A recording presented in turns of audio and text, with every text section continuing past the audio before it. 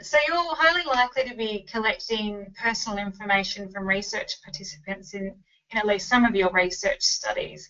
And it's important to remember that the personal information of your research participants is protected by various pieces of legislation in Australia. The most common and prevalent act is the Commonwealth Privacy Act.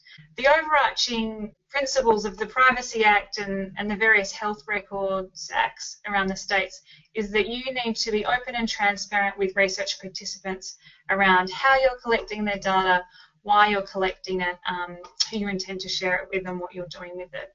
And so when you're thinking about sharing research data that includes personal information, it's really important to think about um, how you can potentially de-identify that information and strip out the identifiers. Um, that should always be your number one focus to take out personal information wherever possible.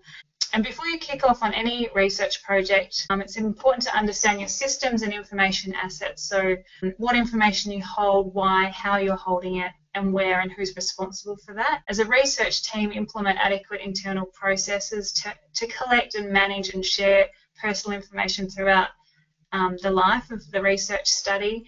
And where you are sharing research data that includes personal information for a reason you haven't been able to take the personal information and identify it out, it's important to always have a good legal agreement, a research collaboration agreement with, with people you're sharing information with that, that covers off on things like liability and warranties. And it's something you should always run past your legal team.